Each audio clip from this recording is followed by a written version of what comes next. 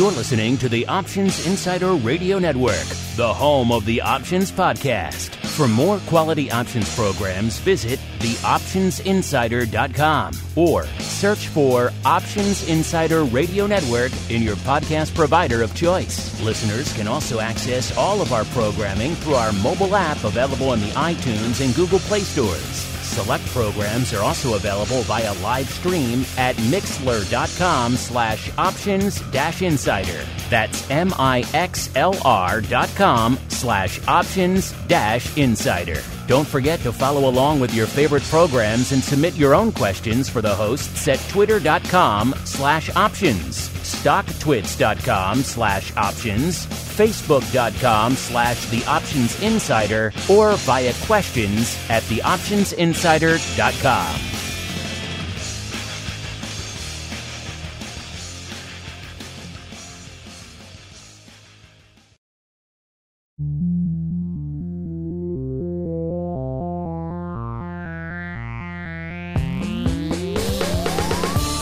Join us now for the expert source for inside information on the options markets. It's time for Options Insider Radio with your host, Mark Longo.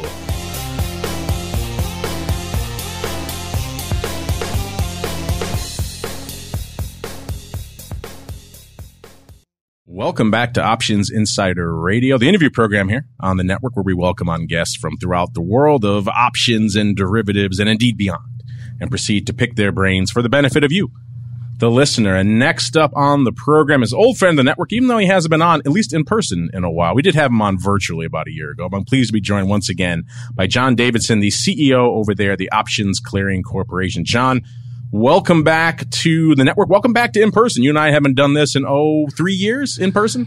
It's fabulous to be back, and uh, thank you, Mark. I really appreciate all the things you do for our industry, and particularly for market participants. Well, I appreciate your appreciation, sir. Thank you very much. But yes, there's a lot to catch up on. Uh, you and I chatted virtually last February. That's the last time we've really checked in with OCC, and uh, obviously last year a bit of a, a wild, crazy, unprecedented. Pick your adjective of choice, and it probably applies to last year. So let's start there. Catch us up from your perspective running OCC during what was arguably the craziest year in the options market history. Catch us up there. What were some of your thoughts? What, what was it like over the course of the past year for you folks over there at OCC? Well, it's interesting that, uh, as you say, the most wild and crazy year in the history of uh, the almost 50 year history of uh, exchange traded options happens while we and a large segment of the industry are all working remotely. Um, and that's really a testimony to uh, the work we've done to prepare and the work our colleagues throughout the industry have done to prepare for that. Uh, certainly, we had uh, record volume in 2021 and very happy with that. We also set a record uh, open interest. More than 500 million contracts of uh, options were open at a point in time in October of last year. Total uh, 9.93, just shy of uh, 10 billion options contracts uh, traded. We seem to be on a pretty good uh, path for 2022. Probably not necessarily right at that record level, but if you think about April of 2022, the month we just got through, compare it to uh, 20 years ago in uh, 2002, which is when I first went on the uh, board of directors of the Options Clearing Corporation, uh, representing Morgan Stanley. We traded the same amount of volume in the entire year uh, about 790 million contracts in 2002 that we traded in the month of April. So while certainly a lot of conditions in the marketplace have changed, and I think that's uh, another important characteristic of the need for options education. We have a whole generation of investors who haven't really seen a bear market, haven't really seen uh, inflation, um, as the uh, predominant characteristic of the U.S., if not the global economy. So, all of these changes, people really need to understand these instruments are risk transfer instruments. They have their own inherent risks that you need to understand. we've been making a lot of investments at OCC. Uh, of course, first and foremost, to make sure that we can handle the capacity uh, that the industry throws at us. Uh, this is a really interesting uh, conference we're at because there's always uh, an introductory what's the market doing these days. And the volume in the options industry looks like a hockey stick over the last two years. It's truly remarkable how much it's increased. We have a 22 year old clearing system at OCC, but it is very, very resilient and hasn't had any problems handling the capacity whatsoever. We've been previously focused, of course, on how we manage the risk in the market as a whole. And I would say one of the things that changed most dramatically in 2021 not that it hadn't happened before in history, because there's certainly a number of uh, prior incidents like the um, the the boom uh, in technology stocks uh, around the turn of the century and things like that, but idiosyncratic risks of particular instruments, the so-called meme stocks, uh, but a variety of stocks, uh, single name equity options uh, growth really uh, expands dramatically. Uh, growth in exchange traded funds expands dramatically, and how our margin rules and our, our, our margin models handle those tremendous changes in uh, volatility, in particular, um, have been been very well tested in 2021. We continue to make investments of the, in those models, obviously subject to regulatory approval for the changes. But I would say overall, the industry uh, in general and OCC in particular came through 2021 very well. And we're now in some, in at least recent history, relatively unprecedented times. We've seen uh, a, a, lot of um, uh, very dramatic changes in uh, levels of the market, both individually and collectively. And I, I think we're well positioned for that. Oh, a lot to unpack there, John. I think we'll start right where we left off pretty much uh, last time you and I chatted. It was February of last year. We were just in the infancy, the early days of what would come to be known, as you mentioned, the, the, the meme stock explosion. Uh, we were seeing, it seemed like almost on a daily basis, things occurring in the marketplace that we were taught that when I first walked on the floor were probably impossible, or at least highly, highly improbable. Things like large trading names going up to a thousand percent implied volatility and trading there for sustained periods of time. So it seemed like every day we were, we were getting something new, something unprecedented thrown at us. And for you on the clearing side, it must have been equally challenging. So walk us through that year as we look back now. We have a whole year behind us of this meme stock explosion. Were there any interesting takeaways or maybe lessons learned or just surprises you had on the clearing side you said wow we never anticipated that unfolding the way that it did that you can now look at and learn from going forward well, I don't think there were any uh, unpleasant surprises per se. Um, I think the industry handled the increase in volume and the volatility very well. Um, I think we need to be careful about making sure that all the new investors in these products have a good understanding that the market does both go up and go down, and that uh, you have to understand the positions that you're putting on uh, a little more uh, rigorously than maybe people thought when uh, it seemed that the market only went in, in one direction, which is generally perceived to be positive. Um, at the OCC, of course, we have had uh, very high levels of volatility, but again, um, a fair amount of uh, variability in that volatility. So it's not like the entire market is volatile all of the time, but there are certainly, uh, particularly single stock options, where the the mix and as you mentioned, the um, the so-called theoretically challenging levels of volatility uh, changed fairly dramatically. But again, uh, because we have a, a, risk system that's based on uh, stress testing and looking at uh, extreme but at least plausible uh, changes in levels of price, we were well prepared to to handle those, and it would appear that our clearing members have been well prepared to handle those. So um, I, I, think that's uh, certainly good news. The other thing that is very important to understand is the uh, the role of the capital markets in the U.S. In the last two years, there have been 15, more than 1,500 new issues, new um, initial public offerings, and derivatives of initial public offerings box uh, that have come to market. And we have options on a very large number of those uh, IPOs.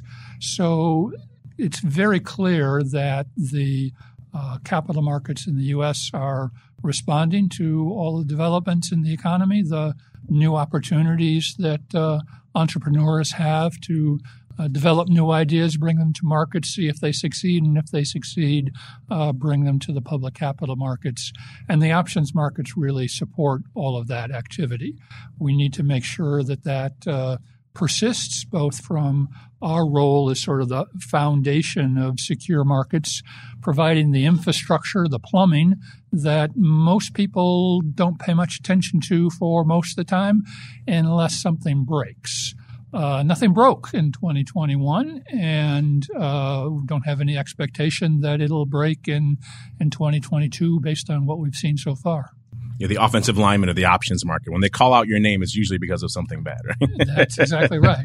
uh, well, one of those one of those things I wanted to touch on a little bit, and uh, the risks you mentioned earlier, John, because there was interesting debate that emerged particularly within this audience, the industry and institutional audience last year, which kind of surprised me. And I wanted to get you, your take on a little bit when we saw this massive wave of retail coming into the marketplace. For the most part, they were doing one trade, which was buying calls on whatever name it was. It was very one-sided paper over and over again, which led to these explosions and call volatility and upside crashes and all these names. And we started to hear this persistent drumbeat right around the time you and I chatted last, February last year, that you know what? Maybe we're doing this wrong. Maybe we're systematically as an industry pricing call options wrong because they were never designed. Our models were never designed in the wake of this massive influx of new demand for one type of trade and one type of trade only. And so I started to hear a persistent drumbeat from people, even very sophisticated people in the industry. You know what? Maybe we need to rethink the way that we are pricing call options in the wake of this tidal wave of new options paper. Obviously, you over there at OCC, you mentioned your risk models. You're kind of the risk modeler in chief for the industry over there. I'm curious for your perspective. You had no major issues, so it sounds like everything worked out from that perspective. But what are your thoughts on that debate? And were you surprised, like I was, that it was as heated and as contentious and as widespread as it was that we as an industry were perhaps doing it wrong, John? Yeah, I don't buy into that argument uh, particularly well. I'm afraid. Um, it, it is true that we had a uh, a strong predominance of retail investors in in call options. Um, on the other hand, uh, protection of puts was uh, seen as an important thing, particularly for institutional investors, uh, making sure they could uh, hedge uh, their exposures in, in a number of areas. Um, this is uh, this past couple of months has changed, I think, the orientation uh, of the market, and people are starting to think about more defensive strategies at the end of the day, we're really not the uh, the risk managers and the arbiters of prices. Um, that's the options market makers. Unlike the cash equity market, where really the marketplace is bringing buyers and sellers together, and the options markets virtually uh, well over 90% of the retail order flow has a market maker, a professional market maker, dominated by um, half a dozen or a dozen uh, large firms who are dedicating the capital. Who, I mean, we now have uh, 1,600,000 different strike prices and options. And the market makers are obliged to make markets in that entire portfolio for the most part. So they are really setting uh, the prices in response to what's happening in, in the marketplace. And I think they do a, a very good job of that. And they have uh, the the intellectual and the technology horsepower to uh, make those markets in a, in a pretty continuous basis. Now we're starting to talk about uh, more 24 hour trading in the options industry. It's a really interesting emerging topic.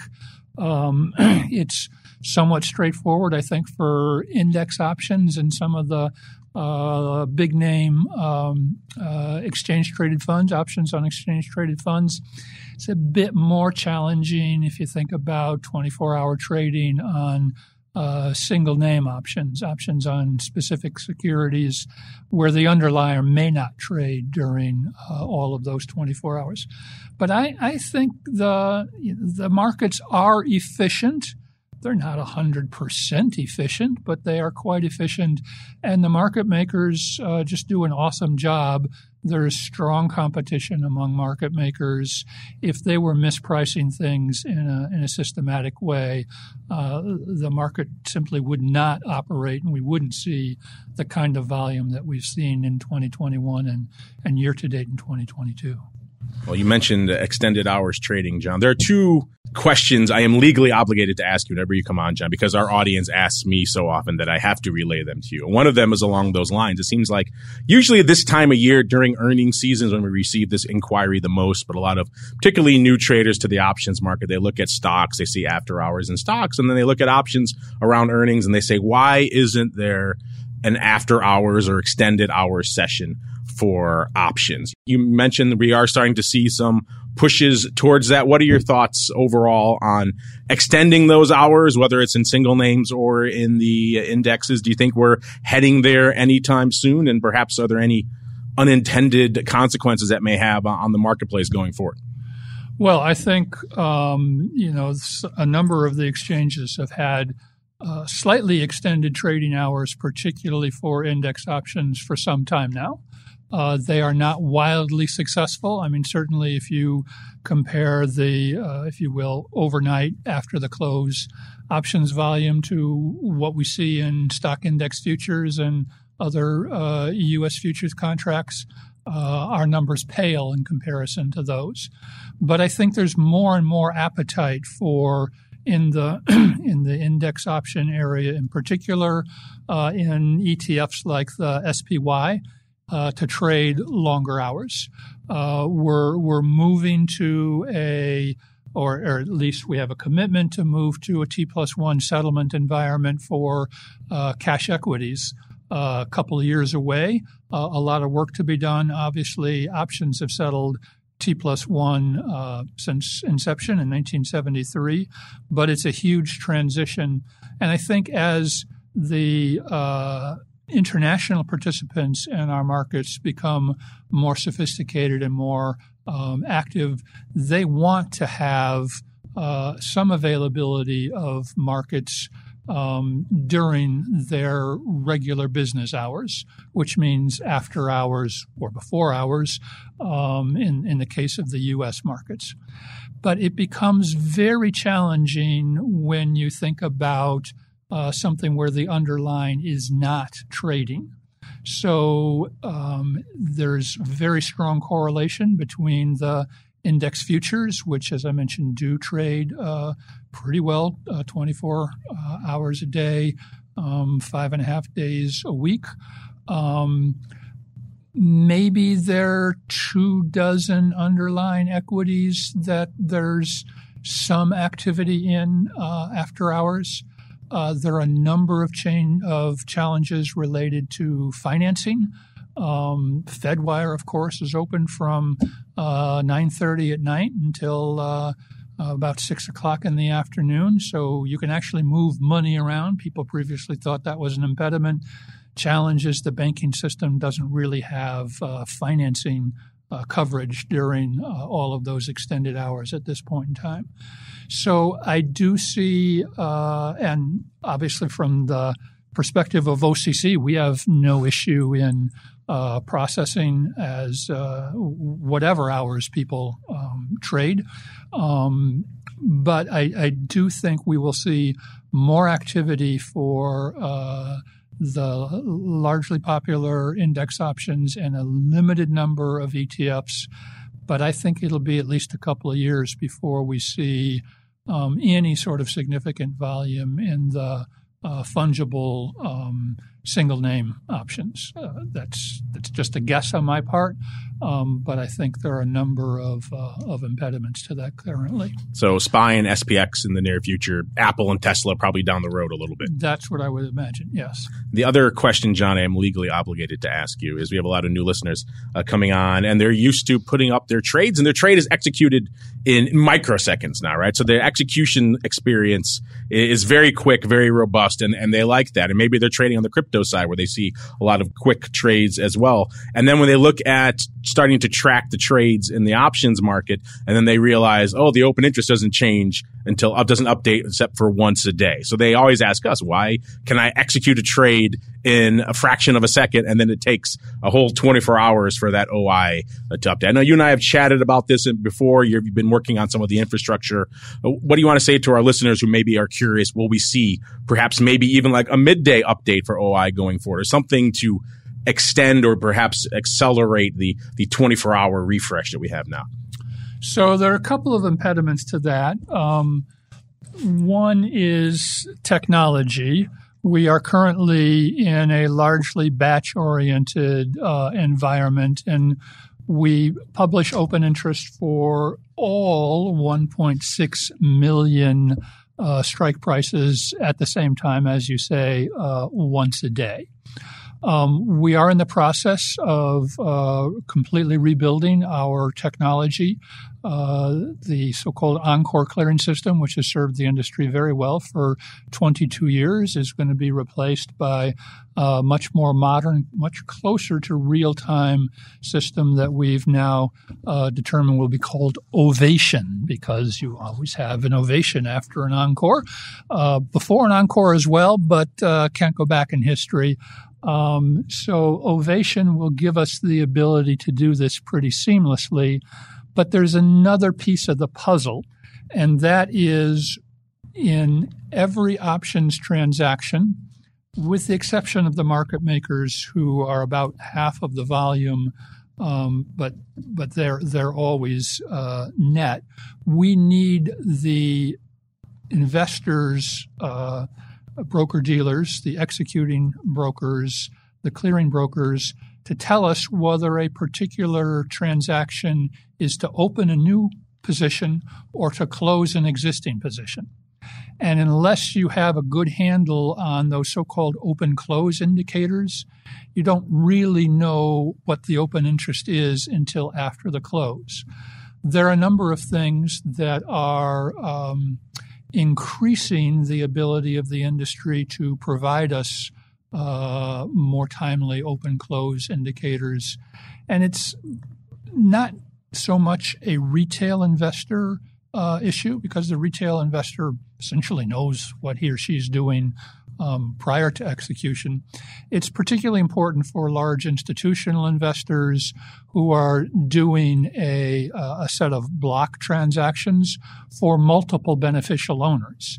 And across those multiple beneficial owners, some may be open, some may be closed. So if I did a 5,000 contract uh, transaction for a set of managed accounts, it's not until after execution and I break down that block into the individual um, beneficial owner accounts that I really can say what the open or close was for um, each of those uh, con- constituent uh, transactions that made up the block. So it's those kind of complications that aren't really technology per se, but a little more, if you will, business practice that impede an accurate uh, open interest calculation uh, on either a real time or a, a multiple time during the day. But I think everybody understands the benefit of that. Uh, certainly, if you think about market makers who are you know, the most real time focused risk managers in the industry, they're always on top of what their net position is, what was opening, what was closing, uh, what they're going to try to hold to maturity, et cetera. So it's doable. but we have to change some some fundamental business practices and and get better data at the offset. I think everybody is of a mind to to get it done. Um, it's a question of when reality will set in and we'll we'll be able to answer those questions. You really do not want to publish inaccurate open interest. That would not be a service to uh, the investing public, I don't think at all. It's the first do no harm principle exactly. of clearing. well, you mentioned your your Ovation technology platform overhaul. You guys are in the midst of that right now. Give our listeners some insight into that. What is the time frame for that, and what are you looking to upgrade under the hood there, John? So we're really upgrading the uh, entire infrastructure. Um, we currently have, uh, as I mentioned, a batch-oriented uh, mainframe uh, dependent uh, uh, architecture, which is very resilient and very volume insensitive. It hasn't had any trouble at all handling the hockey stick in volume, but it's not particularly flexible It takes us quite a while to uh, support new products that exchanges uh, come up with. It doesn't give our clearing members the level of service that uh, they and we would like.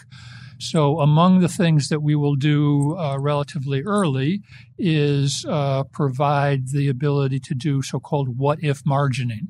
So, I'm going to get, I'm a clearing member, I'm going to get a new customer in. Uh, she's got a big portfolio. I want to understand what that portfolio is going to do to my overall uh, customer clearing uh, omnibus account.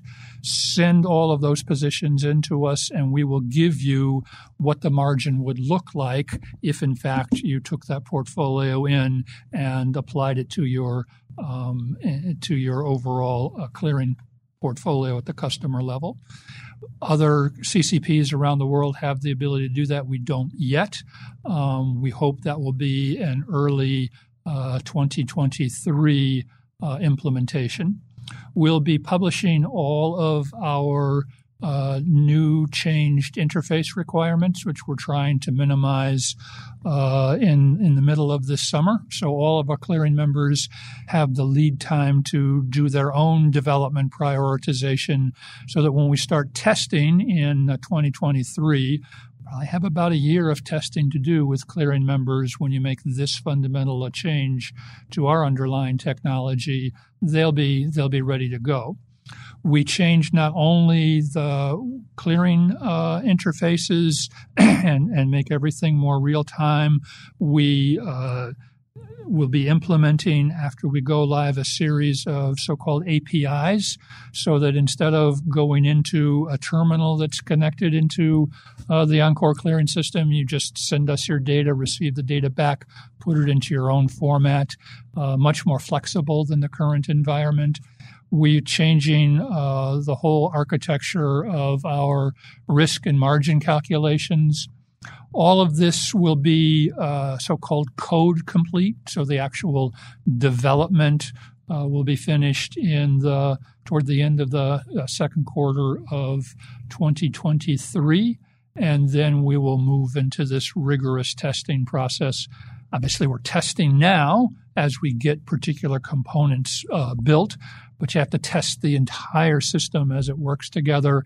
And you have to test all the weird things that have happened in the market. The stock market crash in 1987, the meme stock uh, issues in 2021 all have to be brought through that, that new environment. So it's, it's going quite well as with any other big technology project, it ebbs and flows, and certain parts get behind, and certainly the uh, the marketplace for technology ch- talent right now is quite challenging, and uh, we are we are uh, hiring. We have uh, a number of uh, suppliers that uh, help us out in that regard, and uh, overall, we have I think good success from developing the core fundamentals of what we need.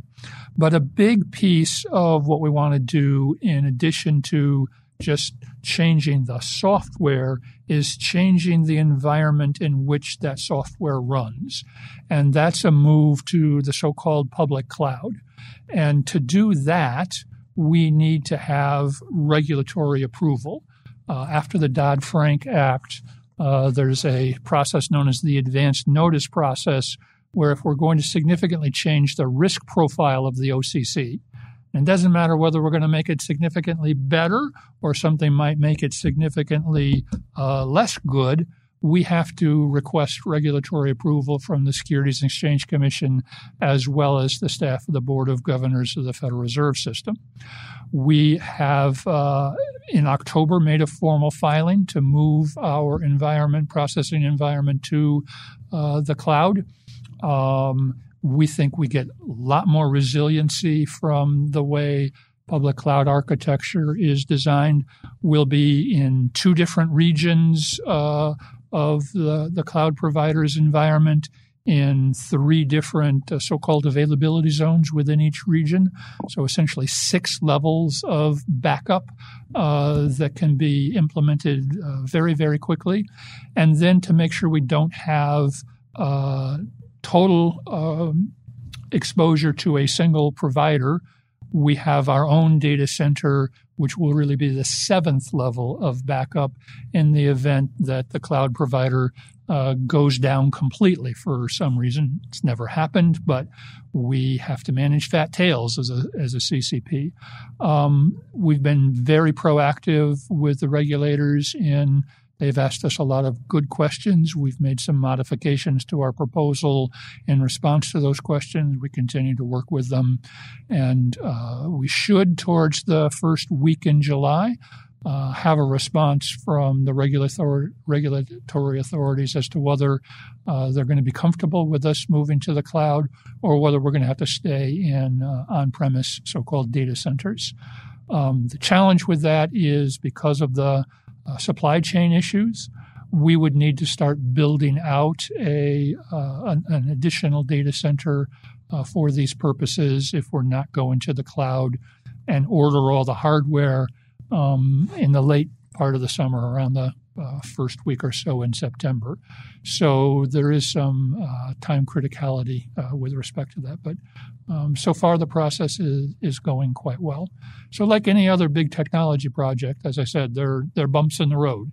And though you have to manage those bumps in the road, um, we try to be very transparent with our clearing members about minimizing the effects on them, uh, understanding from the exchange's perspective what their needs are. Uh, we're in the not too distant future going to have a 17th option exchange uh, in this uh, uh, in, in, our industry.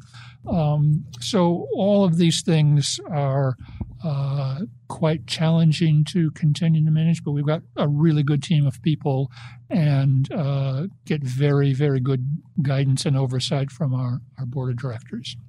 So hopefully, John, by the time you and I sit down together at this conference next year, we'll have more insight into how the Ovation uh, platform is rolling out, John. Absolutely, we will. And I want to circle back to something you said earlier in our conversation about volume. One of the questions We've been polling everyone on ever since this pandemic kicked off and the volume, as you mentioned, the hockey stick started shooting north there, certainly coming into 2021. And again, this year, we've been polling a lot of our guests and our regular co-hosts about, about whether they think this party, this volume explosion can continue. And certainly for last year, as you mentioned, it did. It hit nearly 10 billion contracts there at OCC. But it sounds like from your comments earlier, you don't think we're going to hit that close to 10 billion level again this year. I'm curious why you think that and what kind of volume numbers we'll be looking at for this year, John. Well, I think we'll be pretty close, but I think uh, we will not have the sort of double digit growth in volume that we've seen the past two years. That's not necessarily a bad thing, actually. Um, but we, we see, uh, and there have been a couple of panels on that at, at the conference here, uh, more return to the market by institutional investors. Uh, that's certainly a, a, positive thing. And retail volume is not increasing at the rate it was, but it's not exactly vanishing either. So I do think we uh, are, are, going to see an era of uh, uh, slower growth but I don't think we're going to see uh, the kinds of declines in volume that we saw in, in the financial crisis. Um, there's a lot of risks out there, And these are very useful risk management products that uh, risk transfer products that uh, the options industry has and uh, continues to develop. I don't think we'd have uh, a 17th uh, options exchange moving into uh, the market. I mean, got a perfectly fine franchise in cash equities. You don't move into uh, another more complicated market. You know, they're going to trade all the fungible names. Well, uh, they don't have quite all the 1.6 million uh, uh, strike prices to deal with, but they've got probably 1.3 or 1.4 million of those to deal with. All those, I think, are positive signs, but I, I would see growth uh, slowing a bit. And, and, we can see that. We had um, 260 million plus contract days on a successive Friday and Monday uh, in January of this year. Um, but we're in the sort of uh, high 30s to mid 40s million contracts of late. And I, I, think that's a good, good steady state for the industry. And, uh, and of course, the volatility continues. I haven't looked at the market since we've been in here, but you know, we had another day where we opened higher and are moving lower. Um, uh, and obviously, that changes from uh, name to name with respect to the single stocks. But there's a lot going on, and uh, some some new phenomena in the economy with respect to uh, inflation, uh, some new phenomena in the geopolitical uh, world with respect to particularly the war in the Ukraine, and all of these I think make people a bit more con- uh, uh, conservative, a little less rah rah, let's go out and trade, and, and a little more thoughtful about you know what are the risks that I want to manage what's the best strategy for protecting my portfolio uh, against things that might happen that um, we hadn't seen in, uh, in, in, in a few years.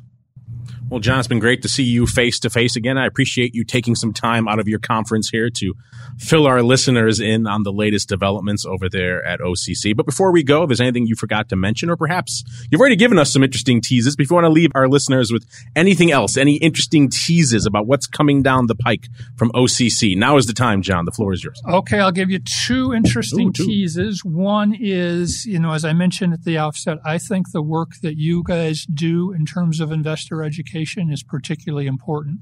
One of the things we've done that we haven't been able to do for about a dozen years is we've completely rewritten uh, the options disclosure document, the sort of fundamental prospectus that underlies and explains to investors all of the risks and the characteristics of these options. It's much more readable than it was. We need to move that into something that is consumable on your mobile phone that is something we're working on, uh, just making and, and collaborating with our clearing members and, and people like yourself to enhance investor education. There are an awful lot of new investors in this market. That's a good thing, but it's a better thing if they understand uh, the risks and characteristics of what they're trading. The other thing, of course, is uh, there's now at least a preliminary thought that uh, the underlying uh, cash markets for U.S. Uh, corporate securities will move to a so-called uh, T plus one settlement environment uh, away from the current T plus two. That does a whole bunch of interesting things in terms of how expirations work, how exercises work, uh, when people have to have their uh, order allocations in and the, the linkages between the derivative markets and the underlying cash markets, uh, which will occupy the industry's attention uh, quite a bit for, for the next couple of years, uh, just the financing consequences of thinking about that. It clearly reduces overall settlement risk, but we've got to make sure we're very thoughtful about how we get there. I lied. One more thing, John, before we go. You mentioned expirations. We are seeing this push towards effectively daily expirations. We are already there in the SPX. We have a Monday, Tuesday, Wednesday, Thursday, Friday expiration. There is some interest slash consternation at a conference like this about adding that to single names. Do we need to have an Apple expiring every day of the week or Tesla? I'm curious. What are your thoughts on this continued proliferation of expirations? Look, I I think um, this is a pretty complicated topic. It's very straightforward for ETFs and for uh, index options. The challenge with single names is there are corporate actions on single names. And do you really want to have a corporate action on exactly the same day as an expiration? And uh, that's very challenging. Uh, investment bankers get paid a lot of money to think of new and more elaborate uh, corporate actions. Dividends used to be highly predictable. Now there are all sorts of special dividends that come out.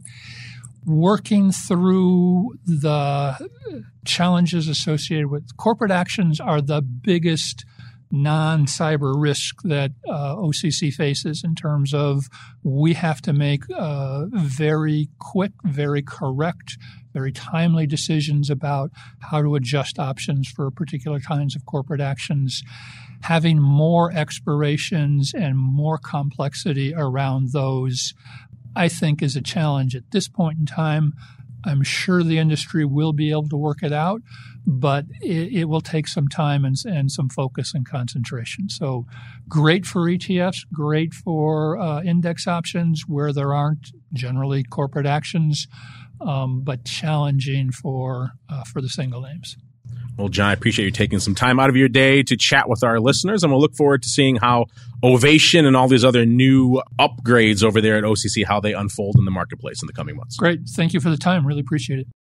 You're listening to the Options Insider Radio Network, the home of the Options Podcast. For more quality options programs, visit theoptionsinsider.com or search for Options Insider Radio Network in your podcast provider of choice. Listeners can also access all of our programming through our mobile app available in the iTunes and Google Play stores. Select programs are also available via live stream at mixlr.com slash options dash insider. That's M-I-X-L-R dot com slash options dash insider. Don't forget to follow along with your favorite programs and submit your own questions for the hosts at twitter.com slash options, stocktwits.com slash options, facebook.com slash the options insider, or via questions at theoptionsinsider.com.